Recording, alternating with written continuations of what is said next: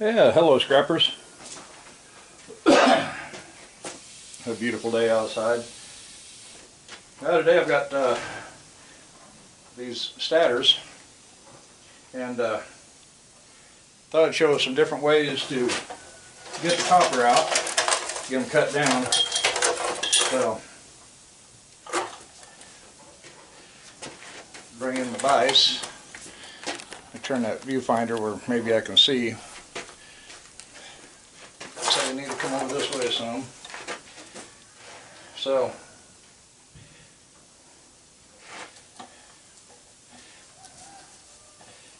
I'll probably have to turn it the other direction.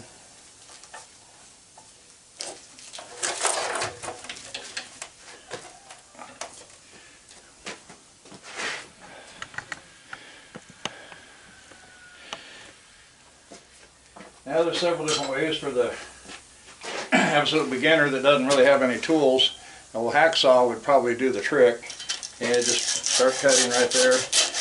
Now that's about all the demonstrating I'm going to do on that one.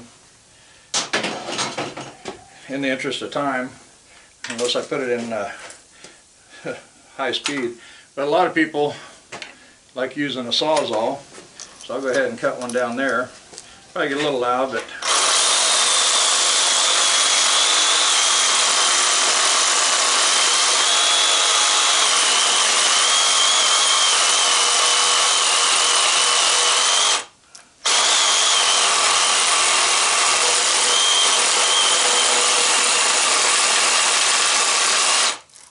As you can see, the Sawzall's not doing the greatest job. Some, I imagine some of them work a lot better. Uh, I'm going to swing over here real quick and, uh, oops, view the ceiling. This uh, Harbor Freight bandsaw here, I tried using it on the vertical table to do one and uh, it just wanted to grab and bind and pull, kept knocking the blade off. Then uh, I tried it on the horizontal and it just started it started kind of cutting good but uh, then just started pulling wires out. As you can see that's kind of what the sawzall is doing which I know a lot of people that use the sawzall and uh, it works well for them. It's not working too good on this particular motor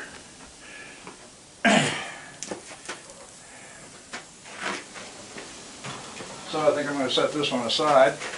I'll get a kind of a close-up of the of that. Put this back over again.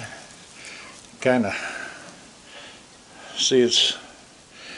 I think if I stayed real close to the metal, it might have may have done better. That's, I think that's a lot of the trick and a lot of it. Uh, let's set it over here. Stick another one in here. Now I know there's a lot of people that swear by using an angle grinder. And I, I have done it this way. It works out pretty good. It's pretty fast.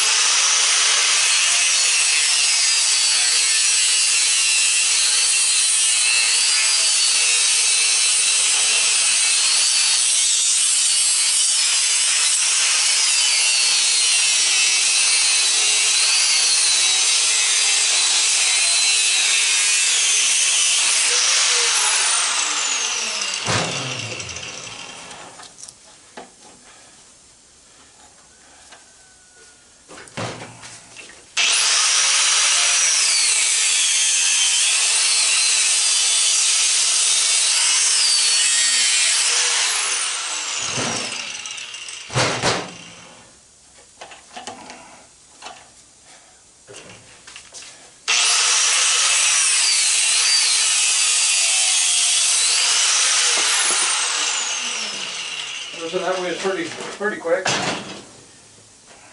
If you have an angle grinder. Harbor Freight does sell them pretty cheap, about 20 bucks. I think that one there I got a Harbor Freight, but that, that one I believe was about 60. And it does a pretty good cut. You see I started in real close, but then I got got out there about a yeah, close, 3 sixteenths. Now, check with your yard if you don't already do it and see if they'll take the strings or not, if that bothers them. I usually cut them off and get rid of them. I need to ask my yard because it could save some time. And then from here, you just pry it out or whatever. Uh, of course, a lot of you have seen the way I do it. Let me uh, get over here and zoom in on the table.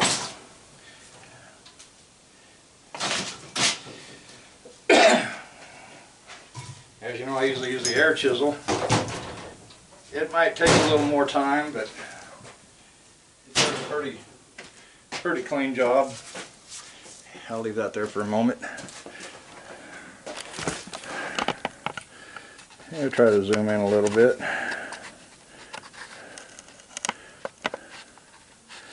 Now I get varied, varied results with the air chisel. Sometimes it cuts really good, sometimes it starts getting in between the fins and makes kind of a mess. But, uh, you know, one thing, get your deals out of the way where they're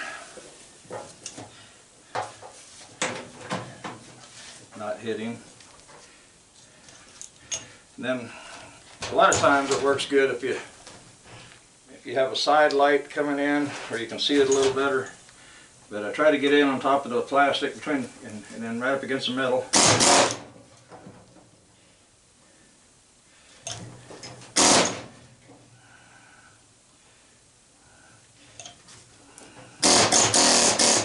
Getting it positioned probably takes more time.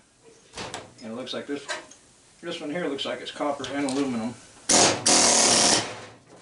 Those usually take a little more time to separate. You have to be pretty careful.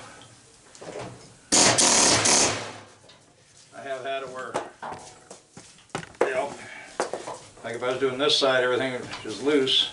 So then I'd be sorting wire by wire.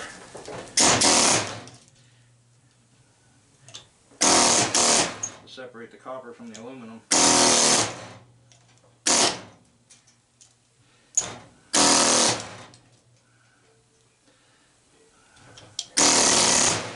Starting to see more and more aluminum windings in these things.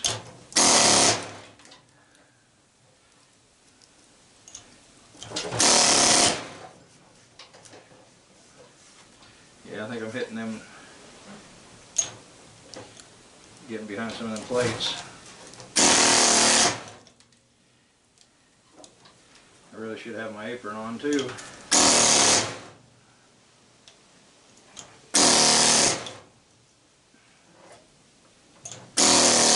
Starting to research other cameras. Saw one I really liked, had a remote control and get an external mic and all kinds of nice stuff with it, but I didn't like that $700 price tag.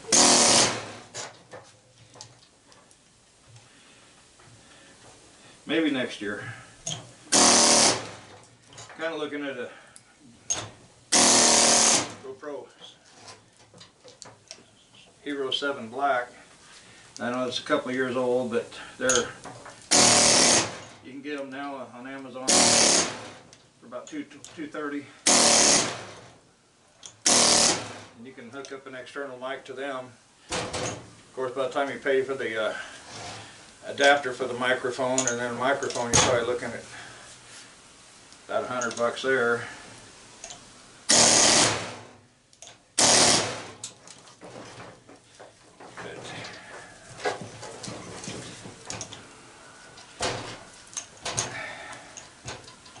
But Okay, you see this took a little longer. Kind of trying to see where I got.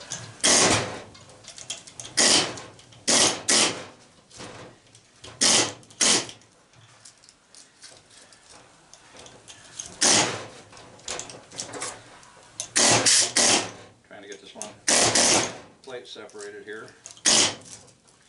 See where all I didn't quite get cut through at.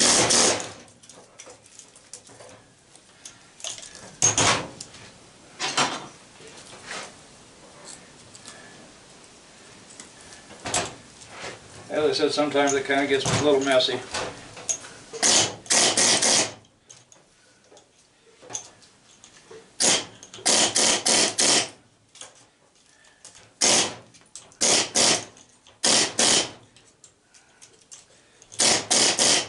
So I'm getting down into the next layer. Okay, throw that in the tin bucket.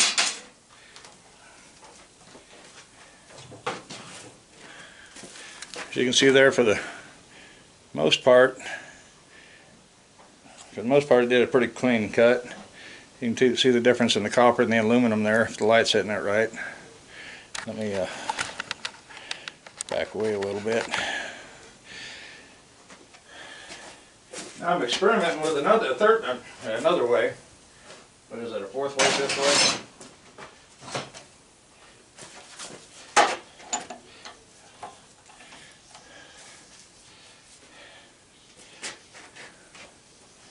Okay, let me wipe some of this oil off my gloves.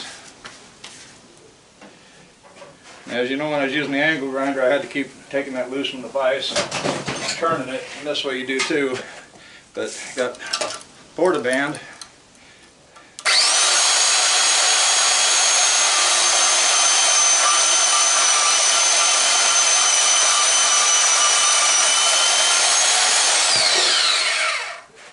How's that for fast?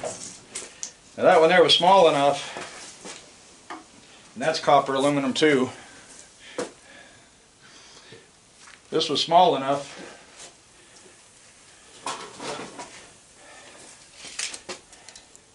It's under five inches. That's a five five inch opening in that saw, basically five by five. I started in pretty close. I ended up a little further away, but did a real nice job, nice and fast.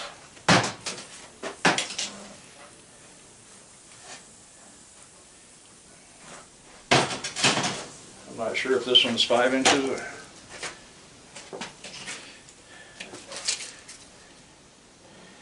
Yeah, it's right at about five inches, so that might jump right through it also.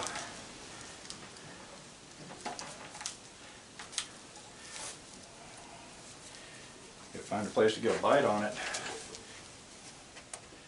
I think I have a 24 teeth per inch blade in here. I try to run it as fine as I can. It's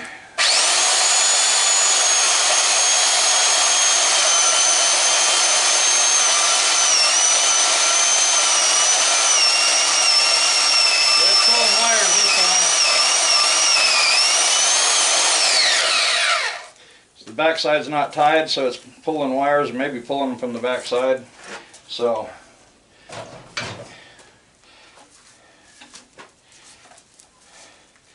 that may work on some, but yeah, it looks like it's pulling them from the backside. So that's going to be something to keep in mind if you want to try that method. You have to make sure that both sides have string. You know, this side has string here, and this half here, but this half it doesn't. So I don't know how that will react in there. Might work, might not. But normally I use a chisel. One thing I was going to say about using the angle grinder is if your blades get wore down, you may not be cutting all the way through. But uh, copper is a soft metal, so it shouldn't wear the blade, uh, the grinding disc down very fast.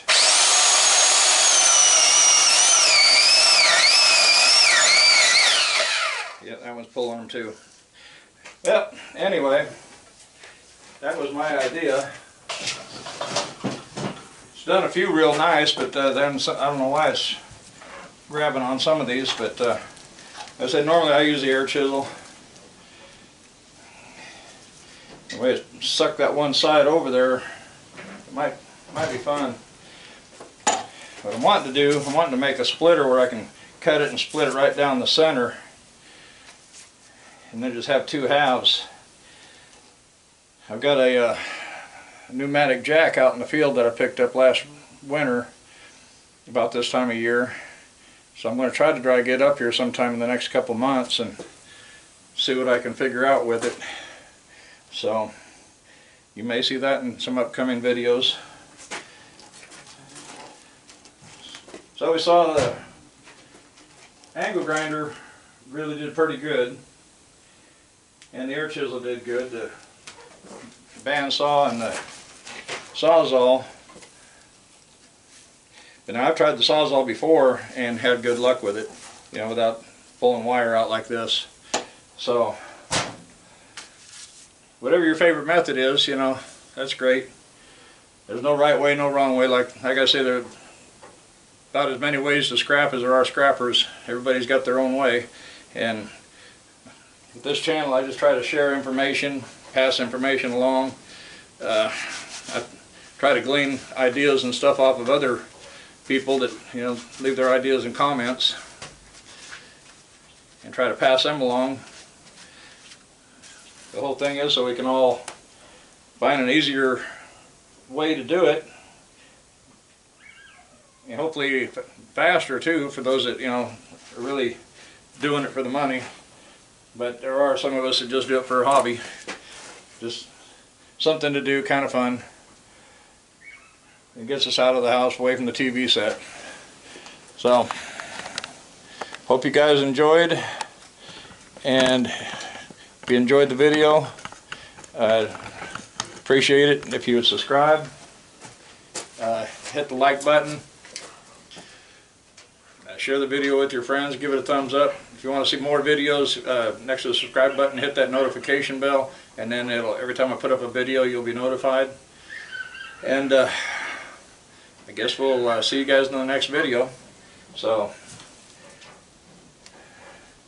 yeah seeing more and more of that aluminum wire so you guys take care and uh, happy scrapping and we'll see you in the next one enjoy this weather I got a lot of this area closed in now so it's going to be a little bit warmer out here for a little longer before I have to move indoors and I got to make some room in there. So we'll see you later. Bye bye.